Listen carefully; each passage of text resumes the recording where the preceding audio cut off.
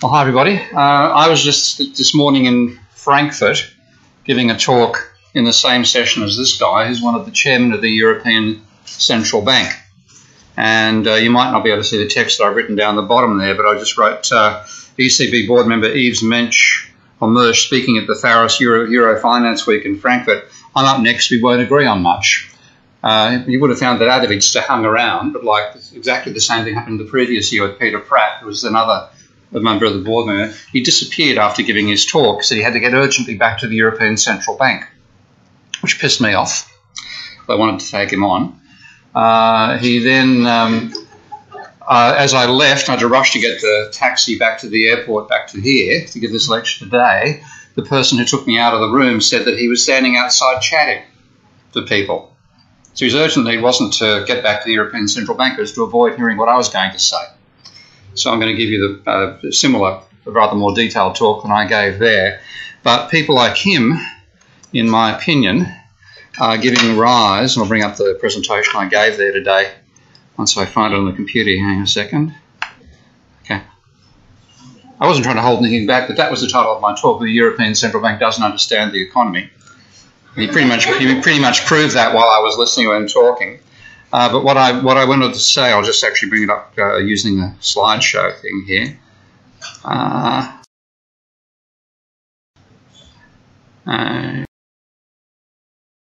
the total total political earthquake in the last few years around the world, and now of course America got hit last week, but people like Varoufakis getting elected and Corbyn becoming leader of the Liberal of the Labor Party, despite the uh, his own party members trying to stop him. Uh, and then, of course, Trump winning last week. And the other ones we might see, I, actually don't know the name of the guy on the right all that well. I know the other two. Beppo is the, the guy with the funny looking face. He actually is a professional comedian. And uh, about two or three years ago, he started what's called the Five Star Movement in Italy.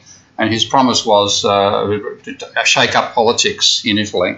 But he also is now, with his party, is now looks like it's going to win the next election, whenever that's held there's actually a referendum about a, what looks like a sort of trivial procedure, procedural thing in the um, in the Italian uh, electoral uh, or, um, um, parliamentary system.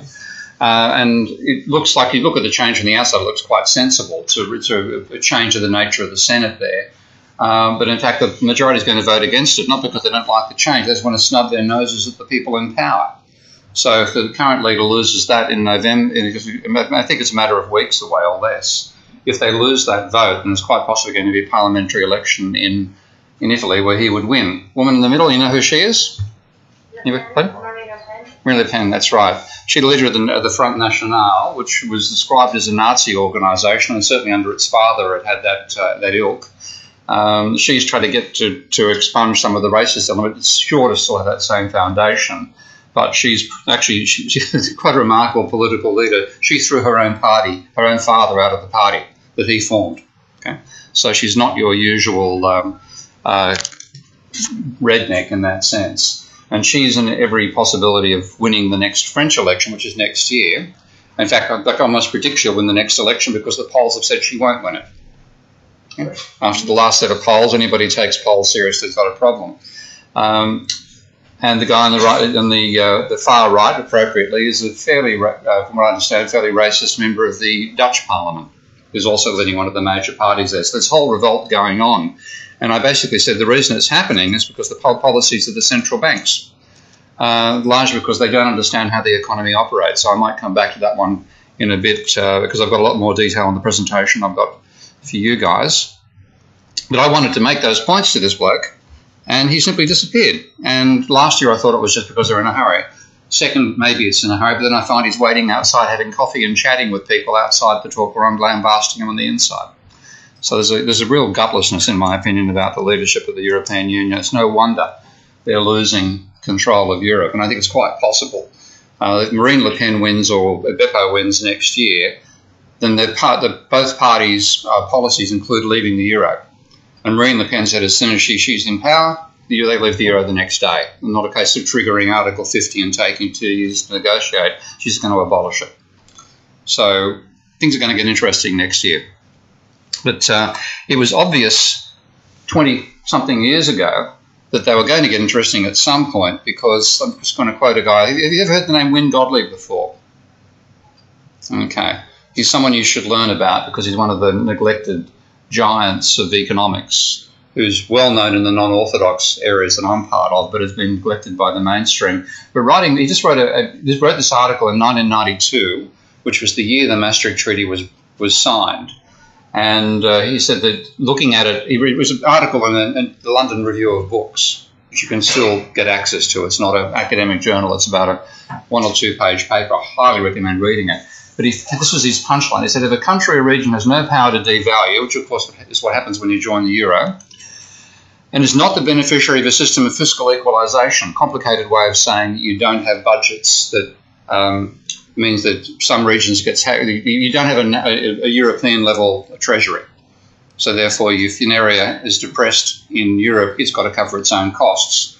Whereas with a country like America, if part of America is depressed, the wages or the, the, the welfare payments from Washington provide a cash flow for that part. So you don't have the same regional disparities in America you get in the European system. So there is nothing to stop it suffering a process of cumulative and terminal decline, leading in the end, and this is a real punchline, to emigration as the only alternative to poverty or starvation.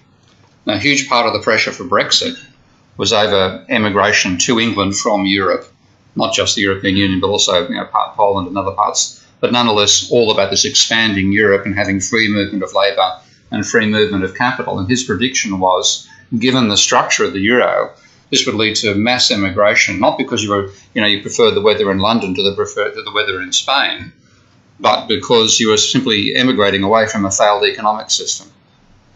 So I think it's very, very prescient. Now he was he's at the the progressive end of economic uh, economics in general. He's not a he's a most most mainstream economists wouldn't know his name, and he's regarded as being rather left wing. Milton Friedman, on the other hand, you all know that name, I take it the, the father of you know, a very right wing approach to economics, made much the same comment. He said that it's unfavourable for a common currency. You have separate nations speaking different languages with different customs who've got far more loyalty to their own country than they have to Europe. Uh, whereas Americans have loyalty to America first and foremost, and secondary to their states. Uh, and even though it's supposed to be a free trade area, uh, he said it's still there's, less free movement in, in Europe than there is in America. So he was two extremes of, econ- of, of political spectrum and economics. Both expected the euro to fail.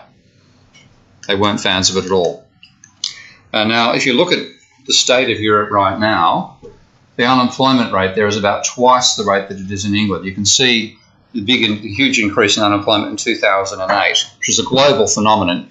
There's very, very few countries that didn't have an increase in unemployment, and only two countries in the OECD that didn't record a recession that year. South Korea, and Australia. Everybody else had a recession. And you can see the increase in unemployment. But then from 2012 on, unemployment in England has been falling, whereas in Europe it continued rising. Now the data goes past that point, it's only up to 2014. I'll, I'll get a later chart and replace that before I put it up on the, on the uh, study space. But that's the divergence in performance, which is a huge difference. And the Europeans simply aren't willing to admit that they you know, they got this badly wrong. Now that's um, that particular chart, by the way. I might even have it linked here. Let's see if that's possible to find out. That's uh, a fabulous resource um, that you can find called the St. Louis FRED. Has anybody discovered that yet? You heard about it? Okay, it's. I'll just show you quickly how it works. So this is. It's the website. It's called FRED for Federal Reserve Economic Data. Okay, and the St. Louis branch of the Fed runs it. So if I wanted, for example, to say, let's say unemployment rate euro area.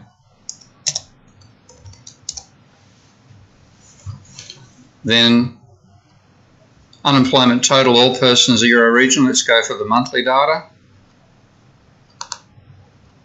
Harmonised unemployment rate. Bang, there's your chart. Not bad, eh?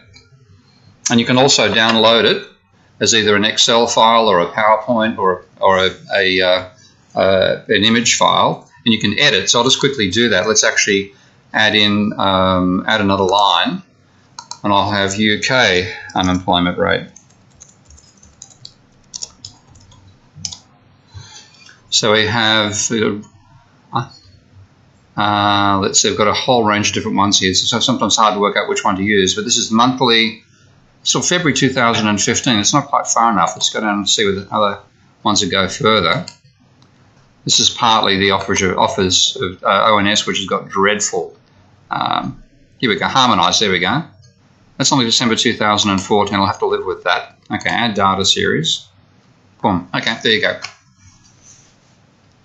So I highly recommend if you want to put, you know, when you're doing essays and stuff like that, and you want to find data, this is the place to go to. You can download the data as well, so on and so forth. So probably one of the easiest to use and uh, most impressive websites I've ever seen. You can also do things like this. Is, oh, this isn't necessary for this one, but it's worth showing how to do it. You choose format.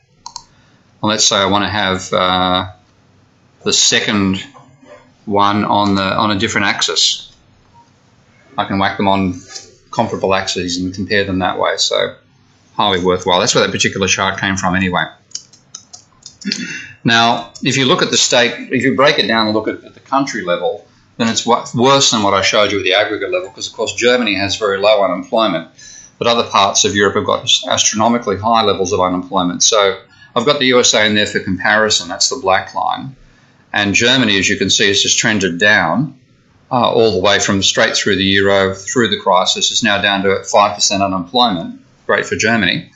Uh, France, on the other hand, has had increasing unemployment since the crisis hit, running at about of the order of about 10% right now, which of course is fueling uh, the support you get from Marine Le Pen. Look at Spain and Greece.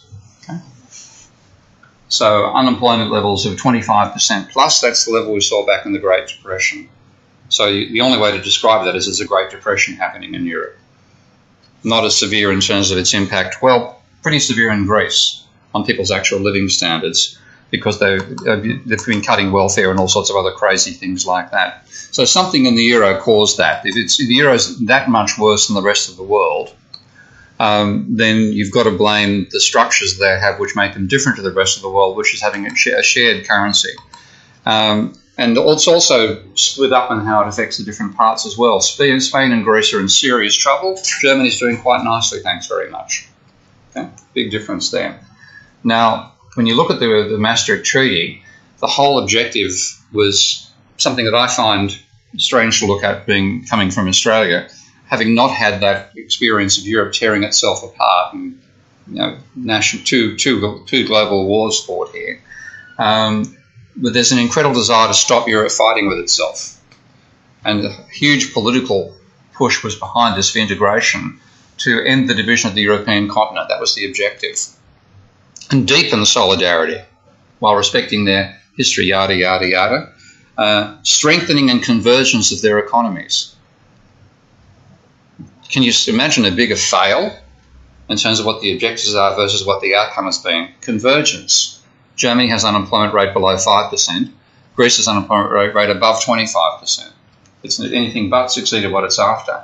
And they thought there'd be a single and stable currency. So these are all the grand ambitions behind it and it replaced about 20 national currencies when it began. And that what that meant was those currencies couldn't devalue against each other anymore. Now, if you look at what's happened with Italy, uh, you, compare, you want to compare uh, countries which are comparable in some ways in terms of technological level. I would rather compare Italy to Germany than say Greece to Germany because Greece does not make cars, okay, does not have a large manufacturing base. Uh, Italy does make cars, has a large manufacturing base. But what would happen regularly is Italian prices would rise faster than German prices. So they could devalue. And that would reset the prices, whether that was in a, in fixed exchange rate system or under floating exchange rates. Movements in the lira against the, uh, against the mark enabled Italy to continue being successful, even though it, it, was, its prices were rising faster than German prices were. Now, that was taken away by forming the euro. Um, now, the whole idea was to promote growth and stability, and this, this whole idea was to, to achieve harmonious and balanced development. So you're trying to get 20 different countries, roughly, to be harmonious and balanced. Well, the, but how do they go about it? Um, and convergence of economic performance, high level of employment and social protection, raising the standard of living and quality of life. What they're doing now is the complete opposite of all that um, economic and social cohesion and solidarity. So the, the words are great. You know, it's uh, wonderful words. overarching concern was to avoid large deficits. That's the, the, the, what they identified as the cause of divergence were big deficits, government deficits. That's what they thought was the main problem. So their belief was, in some ways, that just by hitting that one target, along with having low inflation, uh, they would achieve all those grand objectives. And what they tried to, in terms of trying to um, identifying government deficits, the, the, the, the proposal for, this, for the treaty was to limit the amount of debt, debt that governments could get into. And they believed all this would lead to price stability, you know, low unemployment, etc., etc. So looking at uh, Article 104C, governments shall, member states shall avoid excessive government deficits. Okay. Now, the way they defined excessive was 3% of GDP. Now, if you take a look, actually, that's, that's intriguing. Let's just take a look at Fred and see if I can find, uh, let's go USA federal government deficit. Okay. And it's going from 1952, we can go quarterly from 1959 to 2014. That'll do. Let's take a look at that. So that's the absolute level. I need to divide that by GDP to get, uh, let's see if I can actually get that done. Let's see. I'll just cite percentage of GDP. Type it quickly. Let's see what I get. Russian Federation, not quite what I was after.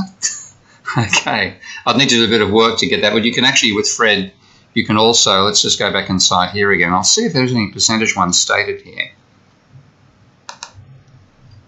Billions of dollars. Percentage, no, Russia. Okay. Uh, I'll see if I can do a transformation because it's worth seeing how how this can be done. So I've got this. That's oh, that's that must be the uh, not seasonally adjusted. Let's go back and look at the. Uh, uh, the other chart was different, wasn't it? Okay, that one. Let's see if I can actually edit the graph and customize the data. Okay, let's say GDP.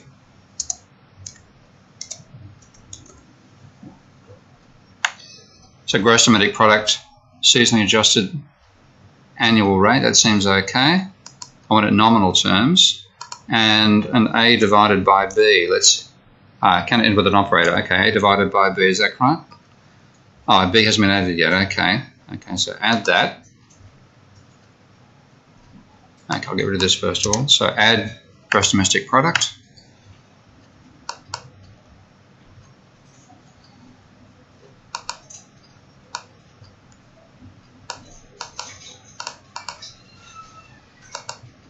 It's not responding. Hang on a sec.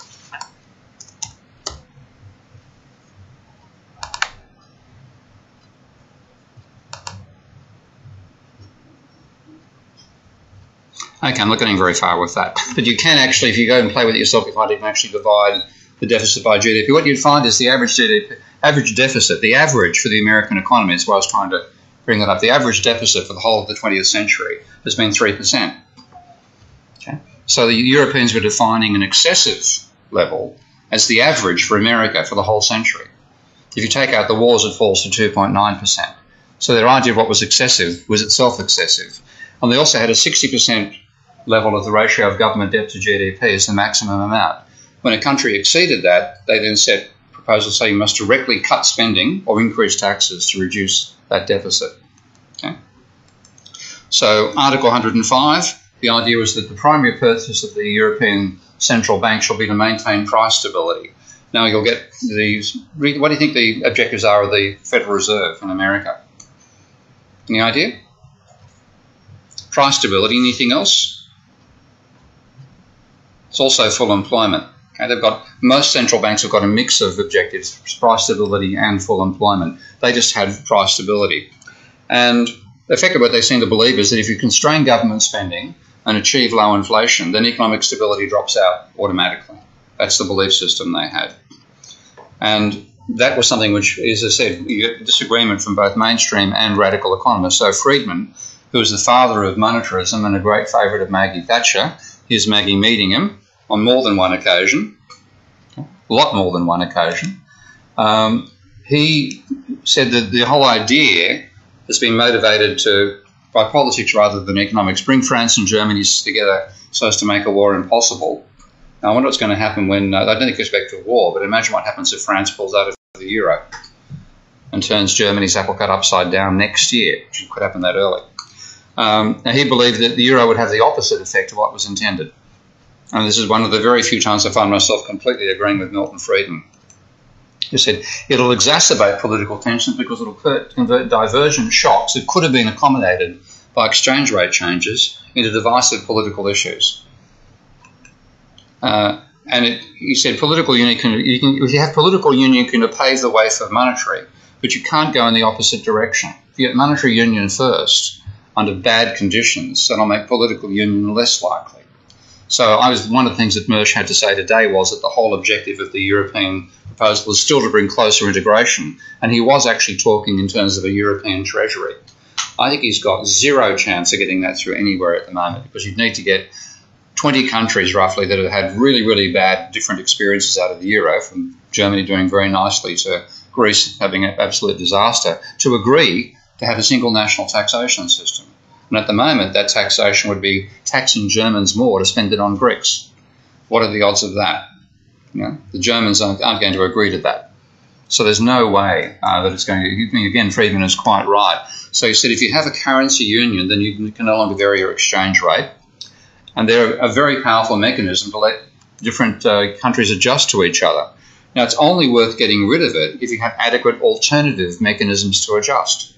But they were also ruled out by the controls on government spending. If you have a control like you can't no longer have an exchange rate, then you need to have much larger government transfers. It said no exchange rate and no government transfers either. So it really was. I've called it. I've called it a suicide pact in the past. It really is a case of. I saw a very, a very funny tweet today saying the euro is basically a case of wear a straitjacket and then attempt to do things you can't do in a straitjacket. Okay? That's fundamentally what it did to Europe. Now, then, talking about the USA, Friedman said that you might shocks that affect one part of the states rather than another. Things like you mentioned the oil embargo, which increased the demand for oil uh, in Texas but reduced the uh, profitability of the industrial Midwest. But what happens is there'll be financial flows from national and state and local governments. Now, Milton Friedman was no fan of government in general, but here he's quite honestly admitting that if you have a government system like that, then it can handle those different shocks between different parts of the uh, country. And again, that's a good example. Okay? An oil increase in oil prices does Texas very nicely and does over the Midwest comparatively. Now, he said you've got the first and, and the third mechanisms. Um, you, can, you, you, you, or you can adjust for wages and prices. And that's what's actually been imposed upon Greece in the downturn. They're forcing the Greeks to cut their wages and cut their pensions to try to make them competitive with the Germans. So you can no longer have um, offsetting flows from national and state and local governments because there is no national government for Europe. And the regional national governments are not allowed to have more than a 3% deficit and they don't produce their own money. So they're like states in the, in the United States, but the United States states have very small budgets, whereas the U- United States Fed has a huge budget. The European Central Unit central budget is so small that I think the European Union's own debt as a percentage of Europe's GDP is about 1%. So it's a trivial budget just to function with the European bureaucracy and the uh, European Parliament and so on. Whereas the national budgets are huge. So it's it, you couldn't have imagined a, a worse way to design the whole system. So here's the example again that Friedman gave. The oil oil price boost globally makes Texas well off, makes Ohio worse off you have a rise in, in taxes and a fall in welfare spending in Texas. You have a fall in taxes and a rise in welfare spending in Ohio, uh, and that evens out the, the impact of the shock. But in Europe, uh, there's no such possibility, and you've got those constraints at the national level as well. So what you had was effectively, rather than a way of, of buffering, it's a way of amplifying the shocks. Um, And they've added to this the idea of free flow of goods and private finance and labour between the various countries. So if you get an advantage in one country, it's compounded in its capability to take on the other countries. And uh, one thing I uh, we'll come back to this point in a, in a moment. But let's just, just, look at this. If you have, if, if German exports get cheaper than Greek exports, and Greece can't devalue, it can't run monetary policy to try to reduce the imports because the monetary policy is decided in Brussels, and it can't run government deficits. So it's totally tied in a straitjacket. And what it can do is borrow money from the French and German banks. And that's what fundamentally happened through the boom period for the euro before the crisis hit in 2008. So if you look at the current account surpluses of the different regions, you can see Germany bouncing along between a deficit and up to a 5% surplus before the formation of the euro. This was the impact of, of unification with Germany came in here with this plunge in their, their surplus here. So for, prior to the, to the uh, euro itself, Germany was running a small trade deficit. Then the euro formed. Up goes its trade surplus. Equally, Spain, which was running you know, pretty much a balanced budget, started going into deficit. It absolutely plunged in deficit once the euro formed, and the same story for Greece. Okay. Then you have the crisis. They turn around not because of any positive reason, but because they can't afford to import anymore. Whereas I think now the, the surplus for, for Germany is up to the stage of being about 9% of GDP. So it's a huge transfer from the rest of Europe to, uh, to Germany at the moment. Now, before the euro came in, if that sort of trade imbalance had happened, then there would have been a devaluation of the Spanish currency against the German. But and they also they would have run a large budget deficit, which would have stimulated the economy uh, in the opposite direction to the impact of the downturn. But they can't do that now.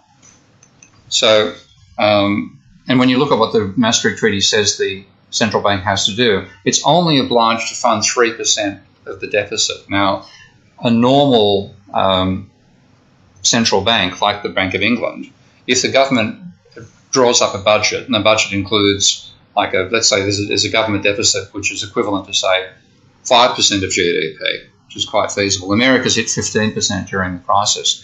It issues bonds to finance that 5% and then spends. Now, it doesn't have to wait till the money comes back in. Okay? It just spends straight away. And the central bank's responsibility is to sell those bonds. Got, the central bank can't buy the bonds off the government. That's a, a, a restriction that most central banks have applied to them. But it can buy the bonds off the public in what they call open market operations. If the public doesn't buy enough, the central bank ends up buying them. So the government gets its money, no matter what size the deficit is. Into this system, the European Central Bank was obliged to make sure that the deficit of up to 3% was financed. Anything more than that, no, you don't get it. And therefore, government spending the government might have planned to do couldn't be financed. So it's much more severe than the austerity you've experienced here with the, with the Tories recently. So it's got to sell bonds to the private sector. If they don't, they don't get sold. That's it. There's no money for the government government proposals. Now the left attacked all that, and I've just shown you Wynne Godley's quote. That's the paper there. Again, if you just when you load the um, um, PowerPoint and run it in slideshow mode on your own computer, if you click on it, you'll go across to see the article. So that was published in October 1992. So, you know, 25 years ago, virtually. He was warning what was going to happen with the crisis now. And he said, since there's no institution other than a bank, the sponsors must think that's all you need. Okay? He said, but that can only be true if economies were self-adjusting systems that didn't need any management. In other words, if a capitalist economy was fundamentally stable, and therefore crises would be uh, unusual events rather than something systemic. And he basically, in the same camp as me, says capitalism is unstable. So it's going to have the crisis. Now, once you've joined the euro, what you've done effectively is you've, you've given away being a free nation state. You become like a local authority or a colony, and you can't devalue. Um, but you also lose the power to have to financial deficits through money creation. If you imagine Kingston Council uh, running out of uh, getting, getting a, a, deficit on its tax on its uh, local charges versus its expenditure here, uh, then it would have to issue bonds to finance that. And if it couldn't sell the bonds and get English pounds back, it'd have to scrap various projects. That's what's happening to a lot of councils right now under the austerity that uh, the Tories imposed. So a local government can't finance itself by creating its own money. But a government at the national level can do that because it has a national currency. Now, the European Union countries gave that away. And he said, once you've done that, then you simply can't get out of a crisis like this. So if you have a whole country or a region, you know, like the whole of southern Europe, uh, in Europe itself, uh, well, if you have a huge structural setback, if you have, again, a, and I'll explain where the crisis came from, it's partly what I covered last week as well, the same basic ending of a private debt bubble. But if you had, for example, an oil shock, say a dramatic increase in the cost of oil, making it more expensive for some regions, better for others, as happened in America, well, the region that suffers can devalue. And then it can trade at full employment so long as you accept that your dollars, your currency is worth less if you go overseas. And it can buy less imported goods. That's one of the impacts of a devaluation. But when you have a monetary union, you can't do that. And unless there's budgetary arrangements to make up, to, distribute to make up for that difference in regional impacts, like a national budget with the um, US federal government funding, um, taxing Texas and funding Ohio when the oil prices rise. Unless that happens, then the punchline that I gave you earlier no power to devalue, no fiscal equalisation possible, there's nothing to stop you having a process of cumulative and terminal decline. Ending up in emigration is the only alternative to poverty and starvation. Now imagine how this would have been regarded as a, because again, that's the article there in a 1992 newspaper. I'm sure that the article, I, I, I never, I didn't, I, I met Wynne Godley about eight years after this article, and I didn't actually know the article until in the last six or seven years. Um, I would have liked to know what feedback he got about it because he would have been seen as a total extremist. He was spot on. Now, that's what pretty much happened because the, the theories that people accepted about how the economy operates that led to the formation of the euro really saw capitalism as being inherently stable. Uh, don't need any management at all. And the real source of that, and I'm going to set this as a reading for next week, by the way. Did you get a chance to read Keynes's 1936 page? You enjoy it? Good read, isn't it? Okay, did it read like your textbooks? so the textbooks are a total distortion. We'll talk about that in the tutorial. But I'll get you to read this guy next week because I want you to see both extremes. So I'll, I'll, I'll give this link um, in the tutorial. Ricardo, Robert Barro had a, what he called Ricardian equivalence, and he's, he, he, they attached Ricardo's name to this concept called the Ricardian approach to budget deficits. So if you click on that link, that'll that'll go. Let's again, it should work since we're in Kingston on its website right now. Let's see. Okay. There you go. That'll get you the article from the Journal of Economic Perspectives. Now, a bit of background. Uh, this is I've heard this. I don't know this for a fact, but I think it's quite it, it's good enough to use in anyway. Barro apparently lived in Italy for a while, and he was he's a right wing American, and he didn't like the fact that he had it very hard to hire a plumber to get some of his um, plumbing fixed up in the house he owned. So he was determined to break the power of the unions in Italy this is part of the political background of this, this sort of campaign he went on. So he talked about what he called this Ricardian approach, and he said that a budget deficit today will be offset by an identical reduction in the private spending. So the government runs a deficit with the intention of stimulating the economy. Households and businesses will cut back their spending by precisely the same amount. So the budget deficit doesn't stimulate demand at all. And this is the basic logic he had. This is obviously quotes. A deficit finance cut in current taxes leads to higher future taxes that have the same present value as the initial cut. I want you to read through this for next week's tutorial and think about the logic. What, what is he assuming to make that statement? Okay? That's the starting point. So, first of all, he says if you have a deficit now, you must have an equivalent in time discounted terms, surplus in the future. Uh, and this is because government budget, the budget constraint equates total expenditures to total revenue and the net issue of interest bearing public debt. So he's pretty much saying expenditure has to be financed by taxes. That's the proposition there. So a cut in today's taxes must be matched by a corresponding increase in future taxes. When you, he means by present value means you've got to discount them for the how far in the future that might be. So here's his proposition. He said, suppose now, now one of my, this is a bit like saying the word assume. One of my students back in Western Sydney ages ago made a lovely witty remark that's always stuck with me. He says, when an economist says the word suppose or, or assume, what you should really substitute is the word pretend. Okay?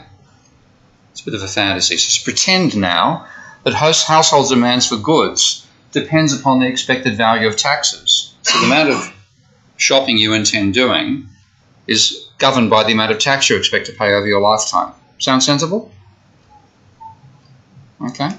Some outrageous assumptions here. So each household subtracts uh, the money it sets aside to pay future taxes from its present income to determine how much wealth it has now before it goes shopping. Okay. So fiscal policy uh, would affect aggregate consumer demand only if it altered what people thought their taxes were going to be in the future. Said, but we're starting from the argument that the present value of taxes uh, would not change as long as no change in the present value of spending. So saying people are anticipating taxes in the future. Uh, so a budget deficit has no impact upon the aggregate demand for goods. That's empirically testable, of course, but that's the, uh, that's that's the proposition he began from. Any increase in government spending now uh, will be offset by people spending less because they're saving money to pay taxes they know they've got to pay in the future. Sound convincing to you? We'll talk about it next week. Now, he went through various objections to his reasoning. I find this this is really quite funny. He said five major theoretical objections that have been raised against this proposition. And I'm just going to mention the first in this lecture. The first is people do not live forever, and therefore they don't care about taxes that are levied after their death. Does that sound reasonable? Fair enough, okay. He doesn't think it's reasonable at all. He says the argument fails that the typical person is already giving to his or her children out of altruism. Okay. In this case, people react to the government's imposed, it's all, all heavy verb, you know, verbiage in this thing, intergenerational transfers. In other words, spending more now means you've got to tax the future more, uh, which are implied by deficits of social security, with the compensating increase in voluntary transfers. So what he's saying is if, if, if there's an increase in taxes now, and you expect it to be levied, say, in, uh, set off by higher taxes two or three centuries in the future, then you're going to put aside money now so that your descendants in two or three centuries will have the money to pay the taxes. Okay? So households capitalise the entire array of expected future taxes and therefore effectively plan with an infinite horizon. Do you, think your parents go shopping with an infinite horizon? Now this, this, is, this is seriously the sort of stuff that you'll find in journals. And it's one reason that I want you to read originals like I've given you Keynes and I'll give you Hicks as well, and also this Barro one. Because what you get at the textbook level, they'll often sanitize it, make it look more reasonable. You read the journals, you see just how extreme some of this stuff is. I think it's the only way to describe that. Okay, but that's the sort of thing which turns up in the textbooks. You know, so we've got to get rid of it. Now that really defined the euro. The belief that first of all deficits were ineffective anyway, and therefore they should be minimised as well to stop these intergenerational transfers. That's the sort of thinking that was underlying the euro. And after the crisis, let's see what time we're up to here, checking our time. Um, there's two perspectives. The, the EU itself thinks the crisis is run by governments running too large a deficit. And of course, that's, uh, I'm still amazed to see that's the line that the, the Labour Party swallowed about itself in England, that the 2008 crisis was caused by, um, who was the government, who was the Prime Minister then, Brown? Brown spending too much and too much a government deficit. That's what they blame for causing the crisis. Uh, and therefore, they thought that what you had to do was to improve confidence by what they call fiscal consolidation, which is really applying Barro's ideas to say you should reduce government spending as much as you possibly can.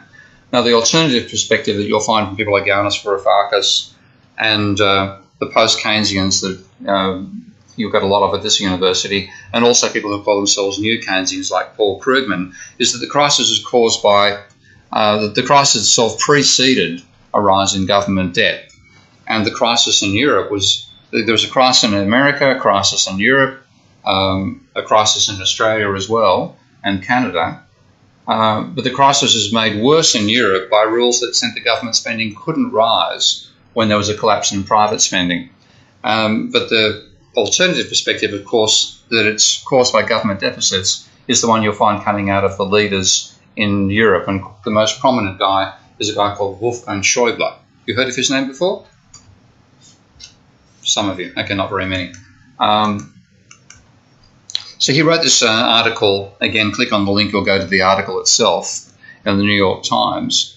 And notice saying German priorities and European Eurozone myths. And his argument was that he started with this statement as in medicine, to prescribe the right treatment, it is essential to have the correct diagnosis. No argument there.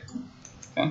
He says his diagnosis is the European crisis was a crisis of confidence, not a debt crisis, not a not a private debt bubble, which I'll talk about in a moment. But uh, what he said, the people treated European bonds from different European countries as equivalent. So they paid the same interest rate on Italian bonds that they paid on, on Greek bonds. But then they realised that wasn't the case. And so there was a divergence. So they started to treat the bonds uh, like Greek bonds much more cautiously and demand a much higher interest rate, which means they paid less for the bonds. So therefore, the Greeks had to sell more of those bonds to raise their money they needed to pay, had to pay a higher interest rate on it. That's what he says caused the crisis. So the only way to stop the crisis, in his opinion, is to make people confident again in those economies. And to make them confident, he thought you had to have low government deficits. That's the logic he's going through. So more public spending wouldn't have done the trick, nor can it now. So Germany has advocated structural reforms, which means things like weakening trade unions and cutting pensions and reducing public debt without throttling growth, so he says. Um, and setting a framework for cooperation between the private sector and the public, um, improving budget deficits, etc., etc. He said in Germany this has shown tangible success. Now, has it shown tangible success, or has it shown that Germany benefits out of the euro and the rest of the rest of Europe doesn't? Um, he's quite happy about Germany. He said we are speeding up debt reduction, um, and the priority for Germany is modernisation, regulations. Stimulus is not part of the plan. So that's really the perspective that has dominated um, Europe. And at the moment, um, both um, Poland and just uh, Poland, uh, Portugal. What's going on here? both Portugal and um, Spain are both potentially covering penalties from the European Union for having budget deficits that are too large. So they really are penalising quite seriously. So he's trying to restore confidence by reducing government debt. And he seems to believe that if you reduce Greek interest rates, then the debt's going to be sustainable. Now, if you take a look at the interest rate spreads, there is partially an argument in his favour because you can see that the interest rate, the pink one there is Greece. There we go. So you can interest rates on Greek bonds before the euro form were enormous, 25%. Course, the inflation rate was much higher back then as well. Okay, they fell down by the time the euro began. There was a small difference in rates between Greece, which I've got there, and Germany, which is the red one. And then they all converged. Only a bit of a divergence there for the UK with a higher rate.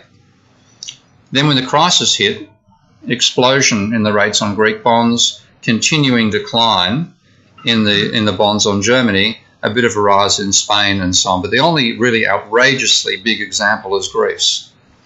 Now, that's really a belief that the Greeks simply couldn't pay the bonds, so they'd have to default on the bonds. That's the fear. Then the market stabilised again relatively, but you've still got this huge divergence between the two. So that's his logic as to what caused the crisis. Pardon me, I brought the data up again. Again, that shows you the data up to, up to date. So again, the links are all live on those on those graphs. Now, the alternative perspective is that it was caused by exactly the same thing that gave a crisis in America. I think I got to the halfway mark. Let's take a break and I'll talk um, talk that through in the next 10 minutes. Well, should I start again? The people haven't, haven't come back, haven't they? Oh, I'll start and they can walk in. Here we go. Good timing. Okay, so Schäuble's explanation was really about the specific circumstances of Europe and differences between different countries and how confident their um, bond buyers were in, in, the, in the governments of them. But the alternative perspective was it was exactly the same as the American crisis, which was a debt, private debt bubble that burst. And the, what the US responded with was, first of all, automatic stabilizers. So there's a, because government's revenue depends upon taxation and government spending depends upon largely unemployment, there was an increase in government spending and a decrease, uh, increase in government spending and decrease in government revenues. They went into deficit. Then there are also specific policies like what they call cash for clunkers, where they'd give people money just to hand in old cars. Ostensibly, there's also a way to reduce the number of polluted vehicles on the on the roads, but it gave people money for a bomb car that would otherwise have scrap, which of course was injected into the economy. Then was covered for the uh, troubled asset, I think it's troubled asset redemption program. I've forgotten what the acronym stands for. That was seven hundred billion dollars supposedly to rescue the financial sector. Uh, ended up being a lot more than that. And then quantitative easing, so the large scale purchases of bonds by the Federal Reserve from private banks trying to reduce the range of interest rates from the, from the long term to the short term rates. Now, the European region couldn't respond because, first of all, they had no treasury. and the austerity that was imposed by Brussels quite severely, including things like cutting wages by 20 and 30 percent, for public sector workers in, in Greece. Things like that were quite commonplace in the program. Um, it was supposed to reduce the government debt to GDP ratio, but the ratios often fell because GDP fell by more than the uh, government spending did, the government debt did. So, looking at Varoufakis, have anybody read any work by Yanis Varoufakis? Okay, good. Some of you have. Okay, uh, Yanis, another, another orthodox economist, so said there are four crises that he saw coming together at once a banking crisis, which is mainly sparked by what happened in America. Um, but Europe's unable to cope with the disaster.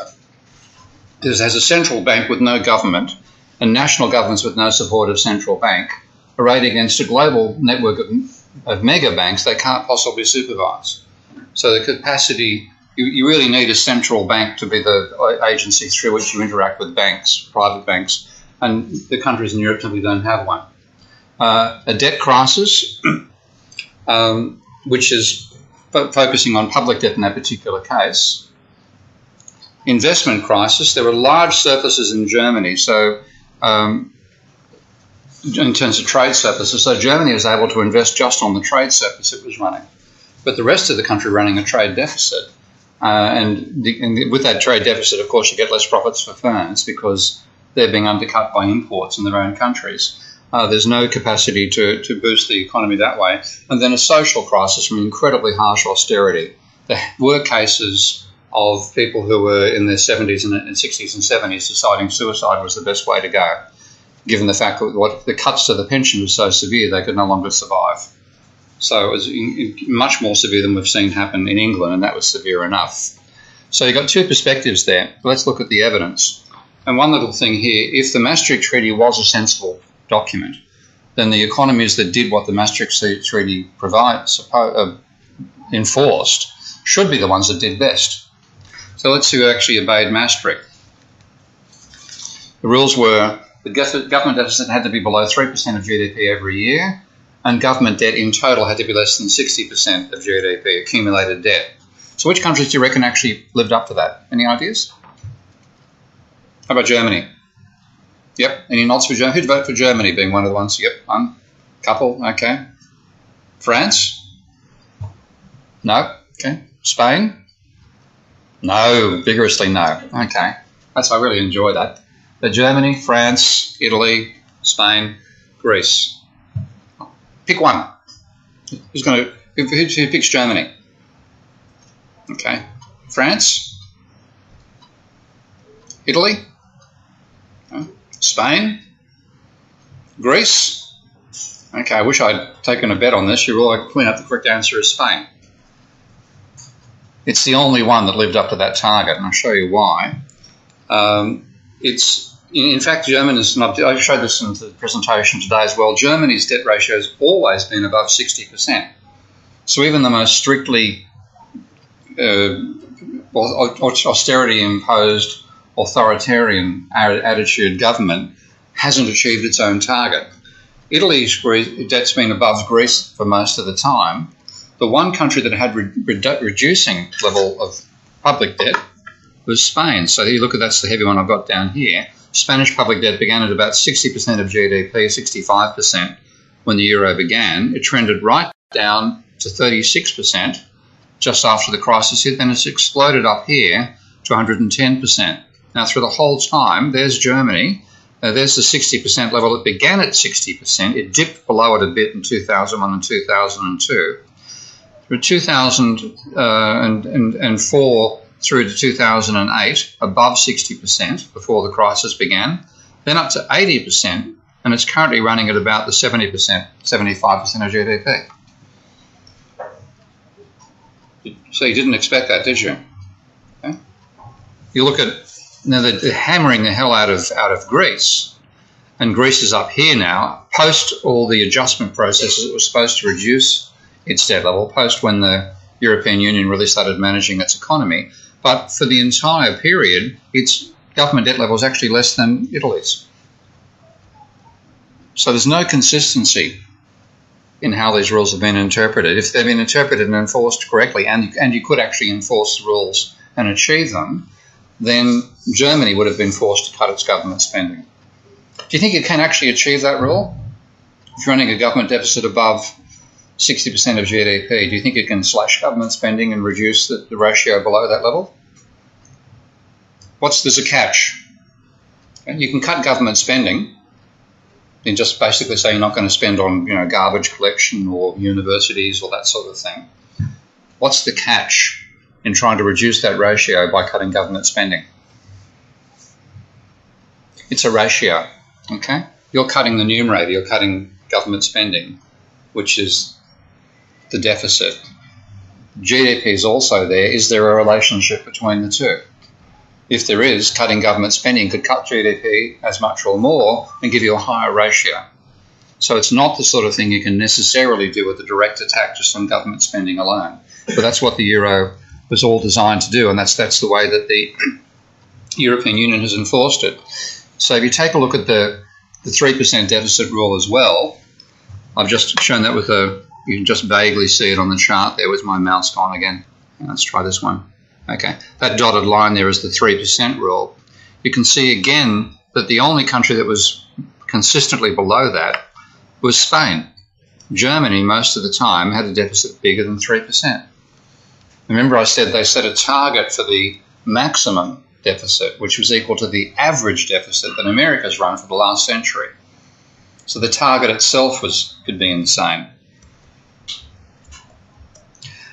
Um, so it ran a surplus on several occasions, 2006 2009, and its debt ratio only rose after the crisis began. So that's showing the um, percentage of GDP per year as a change in government debt. How much does it change across that period?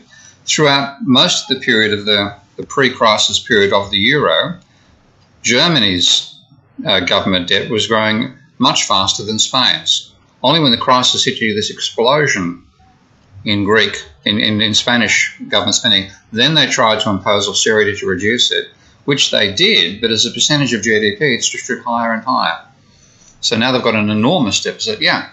Um, how much percentage? How much of percent is like the that they pay for interest rates on those uh, budget deficits? Good question. Um, not a large amount because you're talking interest rates which are extremely low right now. They blew out for a short while. But if you go back and take a look at that chart I showed earlier, the interest rates, you know, we know government interest rates are at historically low levels. When there was the blowout, one thing Draghi did say he'd do whatever it takes, quote unquote, to defend the euro.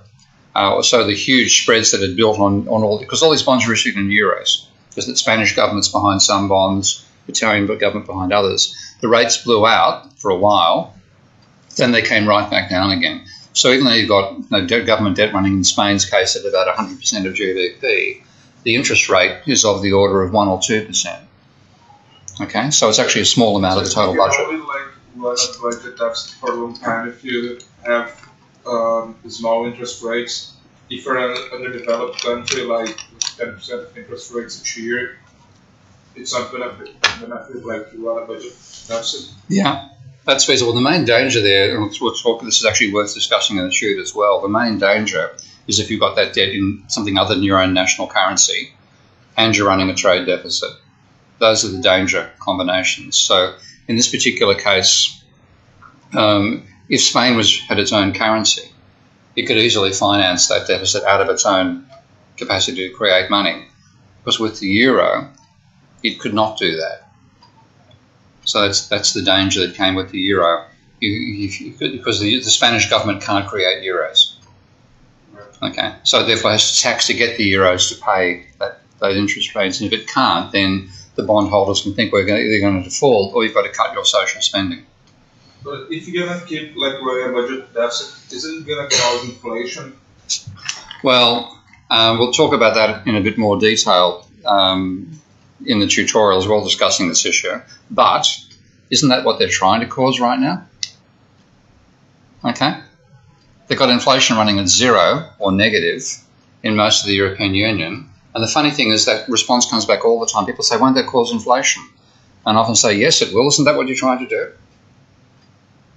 So, in that sense, at the moment, they, they, this, this, the, they've mentioned the, the central bank uh, board member who I was you know, listening to uh, this morning uh, was saying throughout we're below our target, which going to cause inflation to rise from zero to two percent.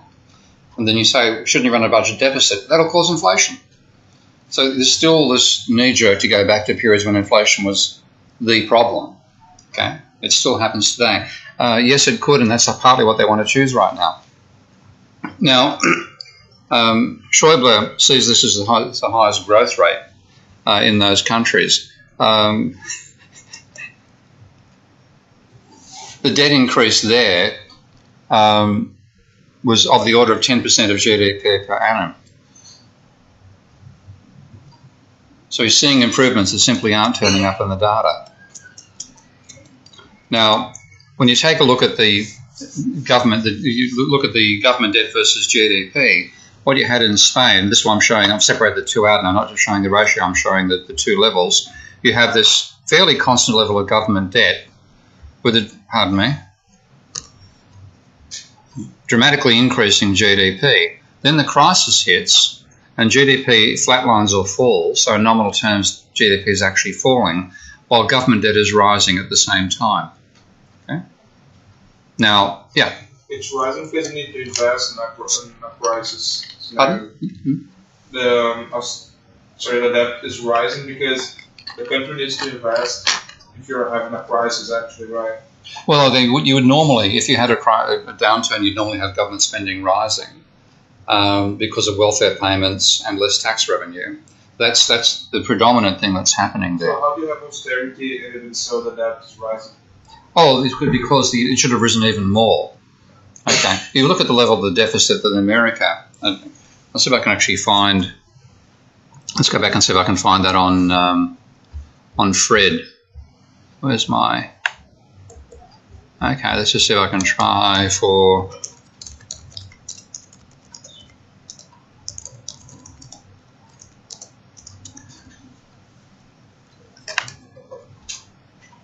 Okay, United States. Percent of GDP. Okay, that's what I was after. You can see as a percentage of GDP, the maximum deficit the American economy ran during the crisis was 13.15% of GDP. Now, what happened with the Spanish one, of course, that would have been what they'd gone to without the euro, without the Maastricht controls. But when they started going that direction, they told them they had to cut spending as well. So they had a deficit, but it was less than the deficit they would have had if they weren't constrained. Now, let's take a look at the compare Spain to America because again the whole idea of this is to try to constrain government deficits. So America really had an unconstrained approach to the, the crisis when it first hit. I met um, Ed Lazear, who was the George Bush's chief economic advisor from 2000 to 2008, 2009. Uh, I met him in 2010 at a conference, and he was describing the mood inside the Bush cabinet when the crisis hit. And he said it, we, went, we went from being blasé about it when they had when they thought it was going to be just a typical sort of downturn to sheer panic. And said a whole, whole bunch of people who are total fans of capitalism, who thought that it was quite possible capitalism was going to fail on their watch and they weren't about to let it happen. So they were really, really panicking. They threw everything they could at it, including things like the the uh, cash clunkers scheme. So huge deficit, large amounts of spending, and the end result of that, you would think, if you think in a very direct sense, that government spending leads to higher government debt. In fact, the rise in the government debt in America, which is the blue line, was less than the increase in government debt as a ratio of GDP in the Spanish case. So being relaxed about the deficit in one sense and just spending as much as you need to turn the economy around actually meant that though they started with a, a higher ratio over time, the Spanish, who were trying to constrain their spending courtesy of the rules of the euro, actually ended up with a higher ratio. Okay? So again, this whole idea, a direct attack on something which is a ratio is rather a challenge. Doesn't necessarily work. So what you see in terms of government deficits, that's comparing the ch change in government debt to GDP. Um, there was when austerity was imposed, the Spanish had got to much the same level of, of debt as a percentage of GDP as the Americans had, and then they were forced to cut it. Okay? Now the Americans continued sustaining it across this period, and finally, when the recovery began, then the ratio could fall, which it did. And they're now down around the region of the Maastricht Treaty targets itself, while the Spanish, it hasn't worked. So the, the GDP is falling faster than they're cutting the debt. Consequently, they've got this huge, uh, you know, the, the, the ratio is high. They're trying to cut the numerator. The denominator is falling as well. That's the real trap they got caught in by following the Maastricht rules. So there's a stabilisation in the debt ratio for America because its nominal GDP is growing. Spain's has been stagnant for most of that period. You can see again what I've done is I've graphed them so the I've got the uh, Spanish one on the left-hand axis and the American on the right-hand axis. And you can see that the growth in the Spanish was actually greater than the Americans. Had a big boom, which was largely driven by the housing sector. Americans a smaller boom. When the downturn occurred, the sharper downturn in the and sustained downturn in the Spanish, the Americans did have a downturn in nominal terms, but by about 2010, they were back on a rising nominal GDP whereas the Spanish nominal GDP has fallen for most of that time. It's only turned around in the last um, couple of last year and a half, and that's actually largely because private debt is rising again, as I'll show you in a moment. So, what about the crisis itself? I remember I took you through Minsky's financial instability hypothesis last week, and saying that what you get in the capitalist economy is a system which is driven by credit. Minsky's starting point was to say that the natural place for analysing the relation between debt and income is to take an economy with a cyclical past that is now doing well. Well, he's hypothesizing a link between debt and income. And that sets him outside the mainstream well and truly. So, one corollary of that, and I'll develop the argument in more detail uh, in the next couple of weeks, is that demand and income come from two sources. There's the turnover of existing money, so people can buy with money they've currently got, and when you buy something, you your expenditure becomes income to somebody else. Okay? Or you can have new money created by new debt. So if you go shopping with a credit card, when you swipe your credit card, you increase your debt. Okay? And you increase the income of the shop you've purchased the thing from. So the increase in debt is an increase in money and it's also an increase in spending. And of course, in the modern world, with governments actually trying to constrain their uh, spending by trying to limit their deficits, which is a global fetish. Private banks are the ones that are mainly creating the money. So total demand and total income depend upon a fairly stable turnover of existing money. That is declining, but it doesn't fall savagely and rise dramatically at various times. So that's actually stable. The really volatile one is credit, changes in private credit. And if you look at the United States, uh, there was a private debt bubble, which financed the sub subprime bubble. There was, there was, actually three bubbles in America in rapid sequence. There was telecommunications, which was building optical fiber throughout the country, and we were building the backbone for the internet. Then there was what's called the dot com bubble. You heard of dot coms? You know, okay. Uh, which is another bubble that burst around 2000. And then the subprime, which was began in about 1997. So they basically overlap with each other. In this case, case, the banks was financing, first of all, rollout of telecommunication fibre. Then they were financing the dot coms, and then finally they financed the subprime bubble. So those three bubbles kept private debt rising throughout the whole of the yeah. Black Monday was the The dot-com one crisis. Which one? The Black Monday they call. Ah, uh, yeah, yeah. Well, that was there was there was actually there was a the the the, the Nasdaq busted in 2000. Actually, one one funny thing I've been um, the I've got really good luck on that front. You don't want to be with me in New York if you have money in the stock market because I happened to be there on the day of the Nasdaq crash. And I gave my first ever presentation as an economist on the day of the 87 stock market crash. And there's a third one. I think I was actually also there for a 2007 bust. So, yeah, that was the 2000. You're right, 2000. About a 14% fall in the Nasdaq in one day, and that, in fact, the Nasdaq finally fell by about 70%, I think, and then recovered. The Dow was down 14% in the one day, second largest fall in history. So, if you take a look at the private debt level, you find that they both had enormous debt bubbles in private debt. This is looking at the ratio of private debt to GDP. So going right back to 1945 for America, this is the fascinating thing, the ratio of private debt to America has been rising ever since the Second World War. It's only fallen on a few occasions. Notice 75, a decline there, a big decline after 1990, then this huge peak, and then the fall since then. It's now started going a bit positive. Look at the Spanish. Okay. it dwarfs the bubble that occurred in America. Began later, 1995. I'm not, I don't have data before 1995. I might see if I can actually locate earlier data for Spain. But clearly, huge bubbles in private debt, which both burst at roughly the same time. You can see the, the peak in the Spanish was about 2000 and, or, maybe 2011. The peak in America is 2009. Okay? This is a global phenomenon, in other words. It's not just something which is um, based only in Europe. And then if you take a look at the, the change in private debt, which is, I define credit as the change in debt. So if you think about debt as what you owe, then credit is the change in the amount you owe on an annual basis. And that change in debt is what's financial spending. So if you have, say, in your own personal case, if you have £10,000 you owe, you also, you're more, you're more than 10,000 right now, don't you? Okay um, and you go to 18,000 a year later, you've created 9,000 pounds worth of money, as well as having 9,000 pounds of debt. And that 9,000 pounds has bought various things, like, for example, my salary. It's mainly bought the Vice Chancellor's salary, but it's, you know.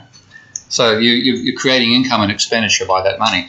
Well, you've got this period of rising credit in America from the depths of the, of the 1990 recession, where credit grew by only 2% of GDP, which is quite low up to 10% around 2000. you can see the downturn occurring there, which is when the NASDAQ popped, up to 15%, and then the plunge from that down to minus 5. So when you have, when you borrow money and you spend it, you're actually cre- you're creating money and creating demand. If you pay your debt down, you're destroying demand, as well as reducing money and supply. Does that sound sensible? That sound crazy, by the way. Can you repeat? Yeah. Uh, if you borrow money, you're creating, if you borrow money from a bank, you create money and you create demand at the same time. If you pay off your debt, you're destroying money and also destroying demand. That sounds sensible or not? I didn't agree with it when I first had it said to me. I thought people were wrong. It took me a while to work out the logic. I'll take you through that if you like in a, um, one of the later lectures. A minute, is that like the, the credit system, like allows that thing, like they rely on people not paying their debts? No, I'll show, I might show you. I might show you what I'm talking about live because that's probably the best way to do it. I'll just actually bring up. Um, let's see. That's uh, that's this presentation. Let's go across to my ECB talk because I've embedded the graph I wanted to show you here. This is um, my Minsky software that I stuffed up completely, showing you how to use in the tutorial last week. Um, I'll do a better job today if we get around to doing it. But I'll show you. This is this is a model of the banking sector, as if the banking sector simply enabled savers to lend to borrowers. So the idea you get taught in textbooks is that people put money, save money, and the bank lends that money out to other people as investors. That's the basic story you get. So this is actually a model by Paul Krugman, and I've put it into my dynamic software terms. I wish I could make that larger. I can't actually make the um, the tables larger in the software at the moment. But what I've got here is a consumer goods sector, which is lending money to an investment goods sector. And I'll show you through the, and I've got it seen in, in four ways from the point of view of the banking sector, the investment sector, the consumer sector, and the workers as each sector. What's actually modelled here is is the neoclassical idea that banks arrange loans between savers and borrowers. So in this model, the consumer sector are the savers, so they are lending money to the investment sector. And then the investment sector will also repay the money. And of course, the reason the investment sector, consumer sector is lending to the investment sector is they expect to get an interest payment. So there's an interest payment going from the investment sector to the consumer sector. And then this vision of banking says banks are just intermediaries that arrange loans between savers and borrowers. They don't actually originate loans. So what I've got them doing here is they're paying a fee to the bank. Now, then I've got the remaining thing is about workers consuming, workers being hired, investment, and so on. And if I simulate this model, what I get is a growth rate, which is the top graph here, that heads towards zero. This is GDP here running along very slowly. I'll just shut down those windows because there's a little bug in the program right now and it, it goes faster if I shut down these, these tables in the background. So you can see it racing along now. Now what these two controls here are, are ways that I can vary the rate of lending and vary the rate of repayment while the program is running. So that's currently saying it takes roughly seven years to roughly double the level of debt. So if I make it five years, that's an increase in the rate of lending. And notice that the growth rate actually dipped when I did that. It's gone back to zero again over here. GDP is still flatlining. There's an increase in the debt ratio. If I slow down repayment, so rather than repayment roughly halving debt every nine years, let's say it halves every 30, then the debt ratio screams up again. As you can see, no change in the growth, trivial little blip in the growth rate there. And the debt level is stabilising at pretty much the debt level we've got now, about 200% of GDP. So huge changes to debt. Let's now say we have the banks drastically, or the lenders drastically slow down how fast they're lending, and people really rapidly repay their debt, and we'll go back to where I started from initially, all those changes, huge change in the debt ratio, almost nothing on the growth rate, GDP is still running at the same level. So that's the vision that the mainstream has, which is why they ignore banking. Now, what I uh, have argued for decades is that as part of the, the um, post Keynesian school, is that banks actually originate. Okay, they're not intermediaries; they're originators. Okay? Think about them that way. So I can do that with Minsky. I can show them. Well, let's just delete this idea that the debt's an asset of the consumer sector, and delete all the rows that indicate that there's lending between the consumer sector and the investment sector. Like I've got to make a couple of other changes to make this consistent, but this will give you an idea. And then I'm going to go to the banking sector and say, well, in fact, the debt is an asset of the banking sector. So I can click on this little down arrow here. I've just I've removed the debt as an asset of the consumer sector, but it's still sitting in the program as, an, as a liability. Yeah. Yeah. So does that mean so does the bank have a minimum year? You know, it's like for example, when you borrow a mortgage, right? Yeah. And if you think you're not going to pay it straight away, so does the bank have like a minimum time where yeah, the banks will. Well, this, this is more looking at how, in the aggregate, how debts are repaid over time. But if you imagine taking out a mortgage at the moment, you normally will take a mortgage of 25 years. Yeah. So yeah. what if you can actually pay quicker? Like, what is the minimum? Do they have a minimum? Well, they they put various controls to try to force you to not pay in a rapid time. So they yeah. want you to ah. have the debt for as long as they can, but you can pay off more rapidly if you want to. You'll face penalties if you pay more rapidly. Yeah. Yeah, and I've actually copped that myself on a couple of occasions. Can be very wary about borrowing money from banks. I paid it off, paid off my bank my first debt too quickly, and they hit me with a four thousand dollar fine for paying off the debt too quickly. I was really impressed by that. So if you're going to take a you still got paid. Yeah, I know. They, they, get, they get you both ways. This is more talking about the speed with which we're doing it in the aggregate. So if you imagine a booming economy, like, like I showed you with that graph a while earlier, then loans are increasing really rapidly repayments are really slow. When a crisis hit, people try to repay the debt more rapidly and lend, banks lend more slowly. So I'm showing that change here.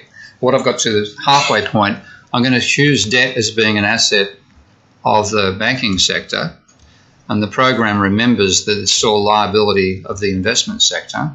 And I'm sort of going to show that the interest is paid to the banking sector. And the idea of a fee, I think, is silly. That's about intermediation, so I'm going to delete that. There's more changes that I should make But having done that, I'll just shut these windows down so they don't slow the program down. Okay.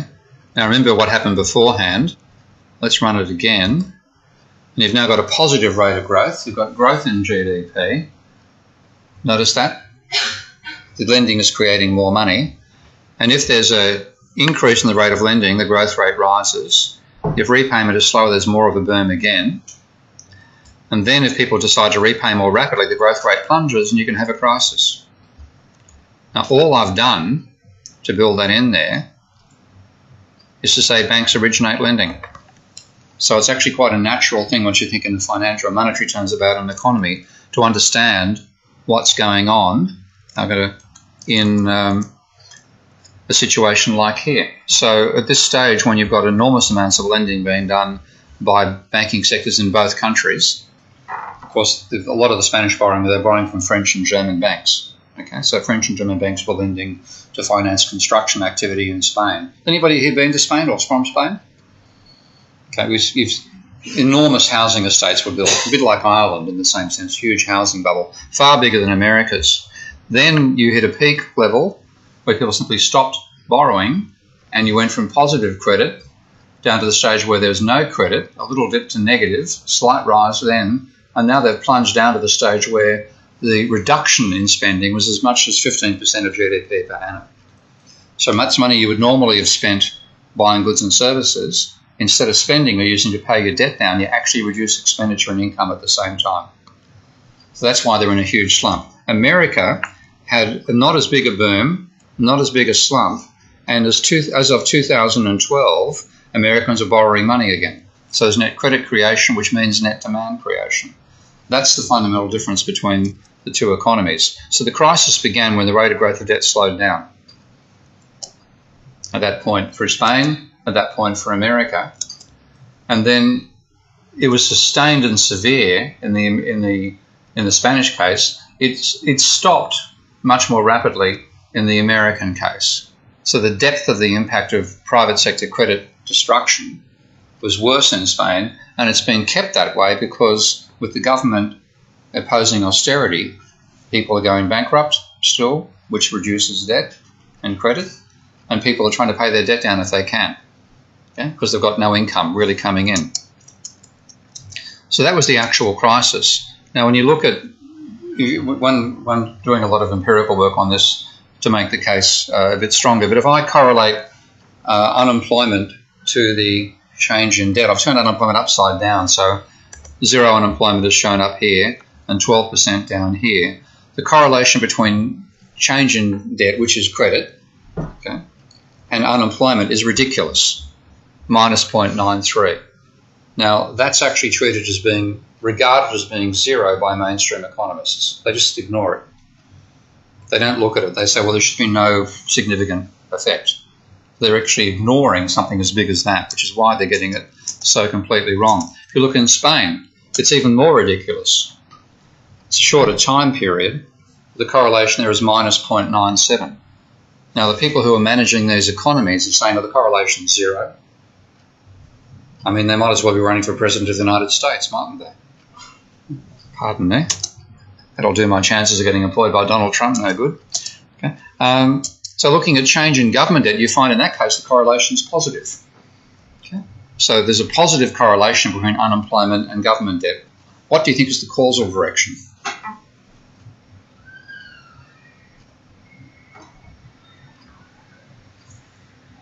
Unemployment rises, what happens to government welfare spending? Increases. What happened to government tax revenue? Okay, so I think the causal link is going from private sector again. There's also a big correlation between unemployment and inflation, right?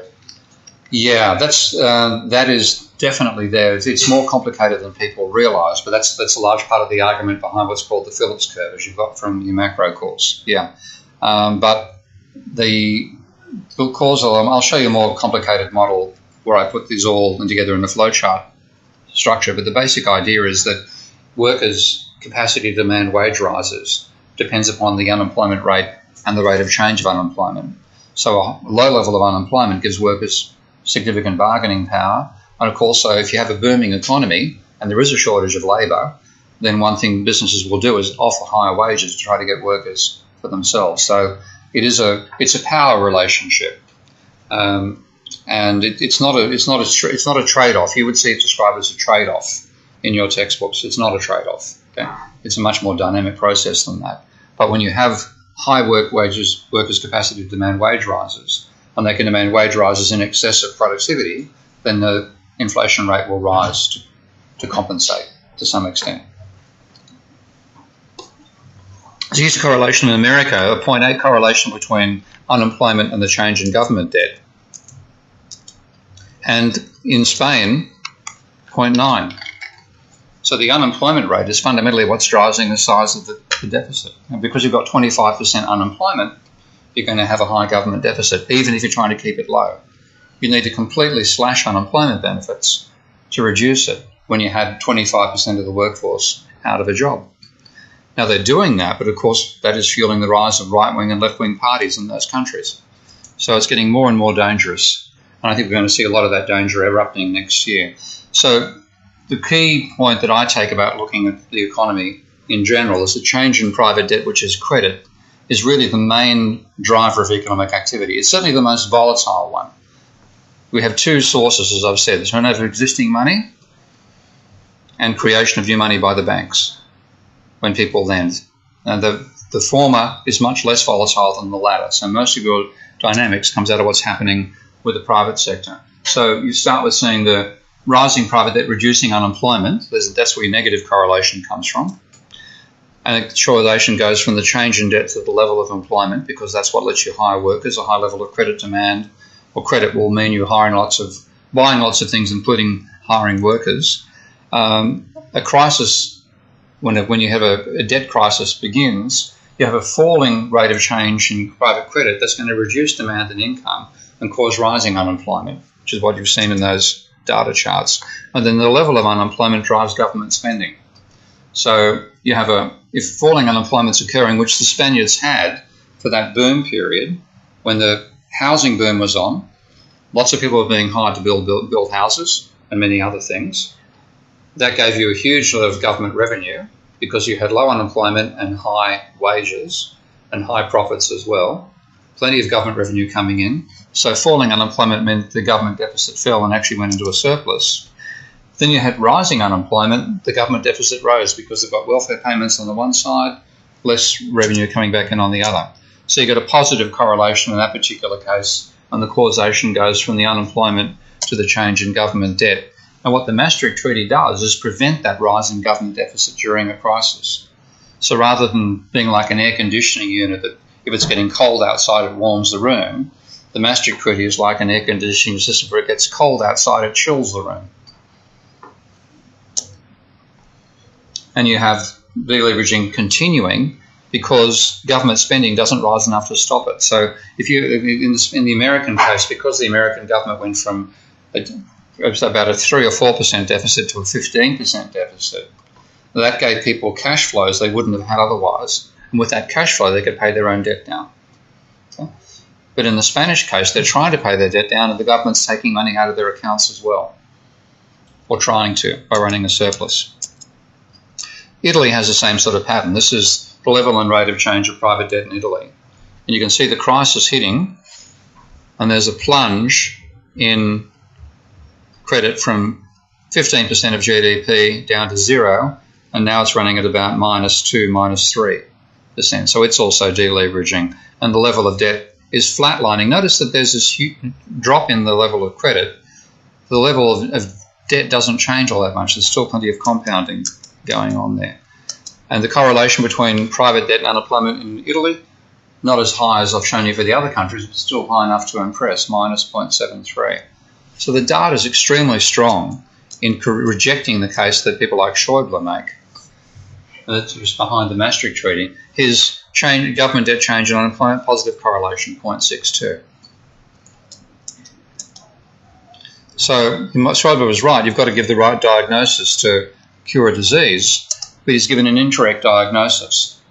The actual cause of the whole crisis was private debt, which they ignored.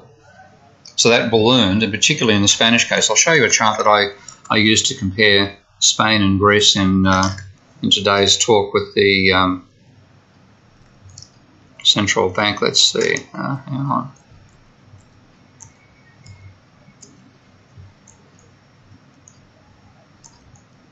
Okay, that's the difference in private debt between the two countries. So Germany didn't have a private debt bubble. Spain had a gigantic one, which then burst. And the Maastricht Treaty completely ignores that private debt. So if you take a look at the, they obsessed about the government debt.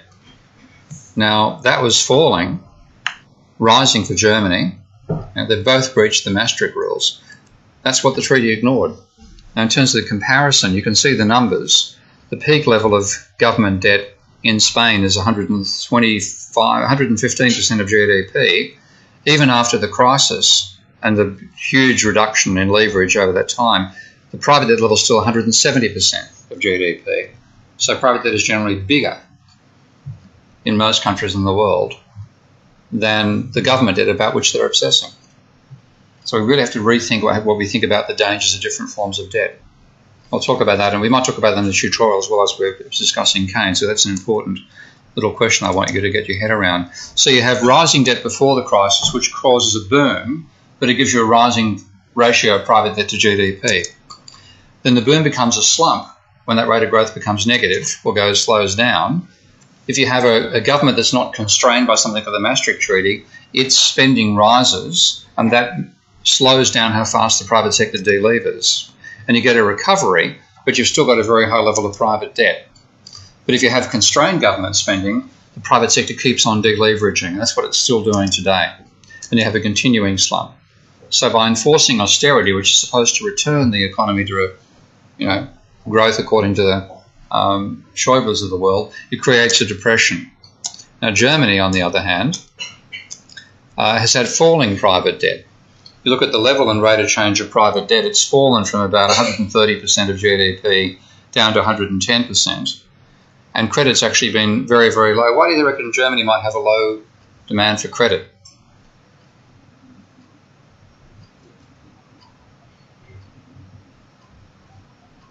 Where does Germany get its money from? Pardon? Sorry? Somebody said something. Who do you reckon makes its money? How can you create money? Think about that question. Huh? Huh? Pardon? Invest. No, that's how you make a profit, not how you actually make money. I'm making a distinction now. Like it's really, really easy to make money in the printing press. With loans? Pardon? With loans or what? Not really by running a deficit if you're a government, or lending out more than you get back in repayments if you're a bank. Those are the two ways to do it domestically. But the third way is exports.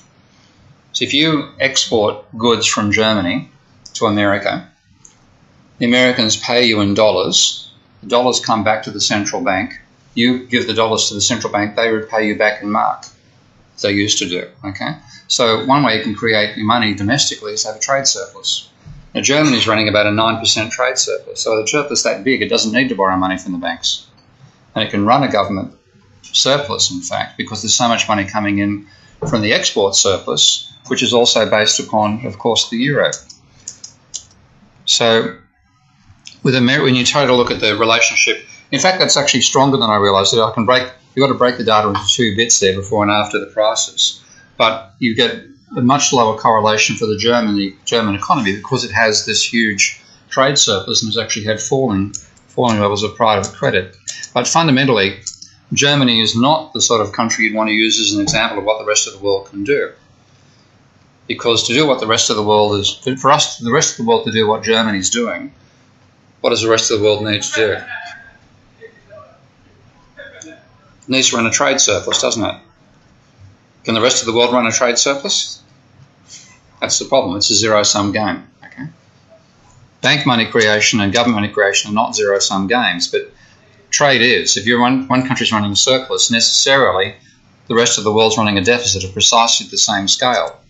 The, the, positive thing I can say for the German economy about this is that it has a very good system of, of tenants, right, tenants' rights. So if you're a tenant in Germany, I've had this confirmed by enough people to know that it's true, I haven't actually seen a contract that says it. But if you're a tenant in Germany, you're required to supply the kitchen.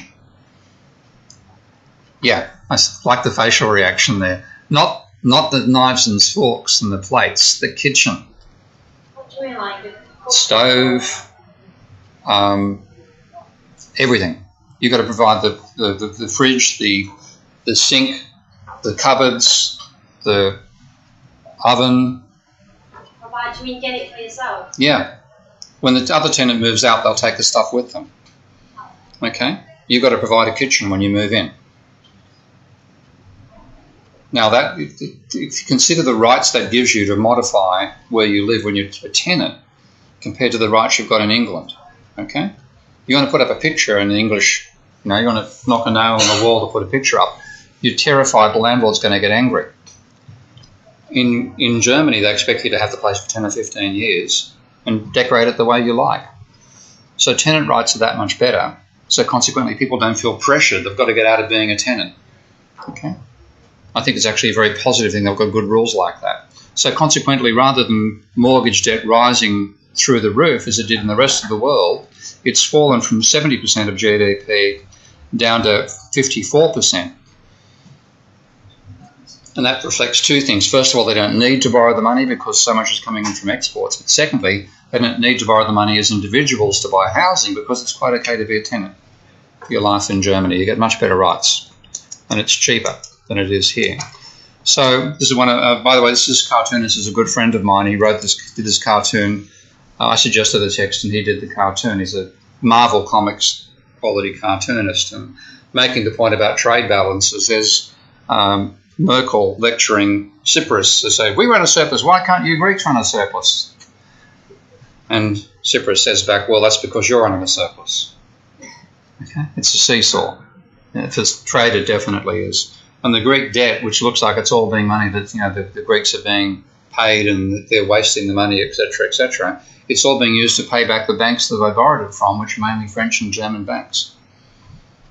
So if you had a breakdown in the euro, the French and German banks would be in a very bad way, and I think they will be that way next year. So the future, we've definitely got a depression going on there, and there's no willingness for the troika to change its policies that was true last year, and I've got to say it's quite probable that with yeah. Sorry, you know that uh, is lending money to Greece right now. Pardon? Are they, um, Germany's lending money to Greece. Yeah. Uh, are they charging interest right now? Oh yeah, but they're changing the rate of interest that's on the bonds, so it's a low rate of interest. But what's actually happening with all that money that's supposedly going from the European Central Bank to finance the Greeks, it's financing their debt to the banks because to get the money, they again because they, they can't create their own money. To get the money for their projects, and they have to borrow the money from the banks. So in fact, they've got huge debts to the private banks. They, they lend it, but they also. Hmm. Effectively, they're being given the money to repay the debt they owe to the banks. So what you're really doing with this, you know, the so-called rescues that they're doing is rescuing the banks that they're paying the money to. So I think we're going to see a huge change now, though, because with all this stuff happening, you've now got two political parties that are quite likely to come to power in, in France and Italy and break out of the euro. I love this comment from Yanis. He's uh, saying that his, his whole focus now is what he calls bringing democracy in Europe by 2025, a thing called the DiEM25 movement. And one reason I'm less prepared than I'd like to be for most of my tutors you guys, I'm writing a document for them that was due to be finished on Tuesday about banking reform. So uh, I'm involved in the projects they're putting forward. But Yanis, in talking about what it was like to be finance minister and talking with the other finance ministers of the European Union, he said he'd finished giving a detailed economic case, and when he finished, he might as well have sung the Swedish national anthem. They paid no attention to what he said and went on with the rest of their business, though he hadn't spoken. So they're completely failing to engage with the scale of the crisis they've got. So I'm expecting the depression to continue uh, falling living standards continuing as well, and then extreme political change, which of course was much more extreme in the time of the Great Depression.